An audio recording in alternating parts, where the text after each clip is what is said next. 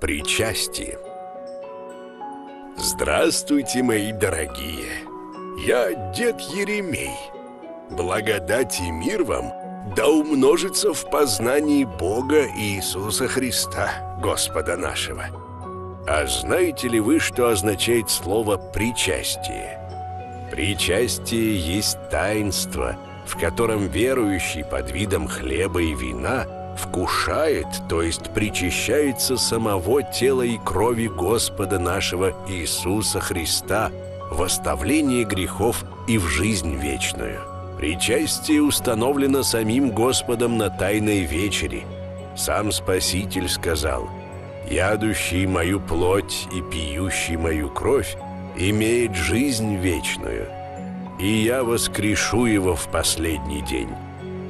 Этими словами – Господь указал на необходимость для всех христиан теснейшего соединения с Ним в таинстве причастия. Вот так вот, дорогие мои. И помните, мир освещается солнцем, а человек знанием. Да храни вас Бог!